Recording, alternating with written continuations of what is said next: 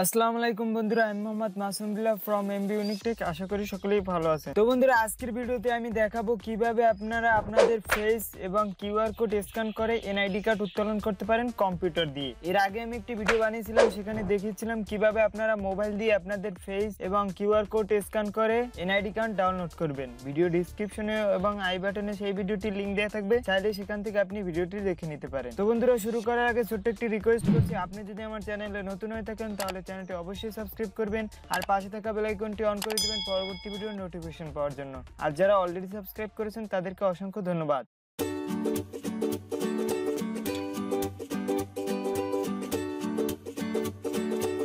তো প্রথমেই আপনারা আপনাদের পছন্দের ওয়েব ব্রাউজারটি অন করে নেবেন। আমি মজিলা ফায়ারফক্স ব্রাউজারটি ওপেন করে নিচ্ছি। তো ফায়ারফক্স ব্রাউজারে আসার পর সার্চ বক্সে লিখবেন services dot NIDW dot gov dot BD এটি আপনি টাইপ করে লিখতে পারেন, তাছাড়া ভিডিও ডিসক্রিপশনে আমি এই ওয়েবসাইটের লিঙ্ক দিয়ে দেবো। চাইলে সেখান থেকে আপনি এখানে চলে আসতে পারেন। তো তারপর এখানে ভোটার তথ্যতে আপনি ফর্ম নাম্বারের ফর্ম নাম্বারটি লিখে দিবেন, তারপর জন্ম তারিখে জন্ম তারিখ নাম্বারটি লিখে দিবেন, তারপর এখানে ক্যাপচারটি দিয়ে ভোটার তথ্য দেখুন ক্লিক করবেন। তো আমি দিয়ে নিচ্ছি।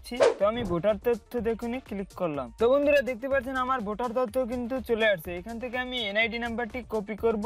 আপনারা চাইলে লিখে নিতেও পারেন। তো তারপর আমরা চলে যাব এখানে, দেখতে পাচ্ছেন রেজিস্টার এখানে আপনারা চলে যাবেন। তো তারপর এখান থেকে রেজিস্ট্রেশন ফর্ম পূরণ করতে চাই, এখানে ক্লিক করবেন। তো তারপর এখানে আপনার জাতীয় পরিচয় নাম্বারটি পেস্ট করবেন। তারপর এখানে জন্ম তারিখটি লিখে দেবেন। তারপর এখানে ছবিতে প্রদর্শিত ক্যাপচারটি এখানে বসিয়ে দিবেন। তারপর সাবমিটে ক্লিক করবেন। তো বন্ধুরা, তারপর এরকম একটি ইন্টারফেস আসবে, এখান থেকে আপনার বর্তমান এবং স্থায়ী ঠিকানা সিলেক্ট করবেন। তো আমি সিলেক্ট করে নিচ্ছি, তারপর পরবর্তীতে ক্লিক করবেন। তো আপনার এরকম একটি মোবাইল নাম্বার দেওয়া থাকবে, আপনি চাইলে মোবাইল নাম্বারটি পরিবর্তন করতে পারেন, অথবা বার্তা পাঠানে ক্লিক করতে পারেন। তো আমি বার্তা পাঠানে ক্লিক করছি। তো তারপর এখানে আমি যাচাইকরণ কোডটি এখানে বসিয়ে দিচ্ছি, যেটি আপনার মোবাইলে এসেছে। দেন বহালে ক্লিক করছি। দেন এরকম একটি ইন্টারফেস আসবে, এখানে দেখতে পাচ্ছেন আপনার মোবাইলে এনআইডি ওয়ালেট অ্যাপ্লিকেশনটি ইনস্টল করুন। তারপর কিউআর কোড স্ক্যান করে পরবর্তী ধাপ অনুসরণ করুন। যাচাই প্রক্রিয়াটি শেষ হলে আপনাকে পরবর্তী ধাপে নিয়ে যাওয়া হবে। তো এই প্রবলেমটি আমরা সকলেই এখন ফেস করতেছি। তো এই প্রবলেমটি আজকে আমি সমাধান করব যে কীভাবে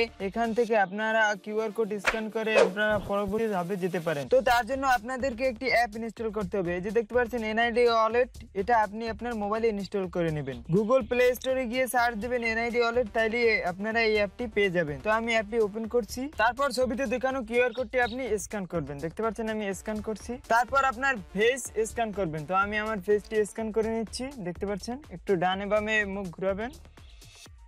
তো আমার ফেসটি কিন্তু স্ক্যান নিয়ে নিয়েছে। তো একটু অপেক্ষা করছি। দেখতে পাচ্ছেন, ঠিক আছে, এখানে ক্লিক করবেন। তো আমাদের মোবাইলের কাজ শেষ। এখন দেখতে পাচ্ছেন অটোমেটিক আমাদের পরের ধাপে নিয়ে এসেছে। তারপর এখান থেকে আপনি পাসওয়ার্ড সেট করলে আর এই প্রবলেমটি আসবে না। তো পাসওয়ার্ড না সেট করতে চাইলে আপনি এড়িয়ে যান, এখানে ক্লিক করবেন দেন ডাউনলোড বাটনে ক্লিক করে আপনি আপনার এনআইডি কার্ডটি ডাউনলোড করবেন। সো বন্ধুরা, এই ছিল আজকের ভিডিও আশা করি ভিডিওটি ভালো লেগেছে। ভিডিওটি ভালো লাগলে অবশ্যই একটা লাইক দিবেন কমেন্ট করে জানাবেন ভিডিওটি কেমন লাগল।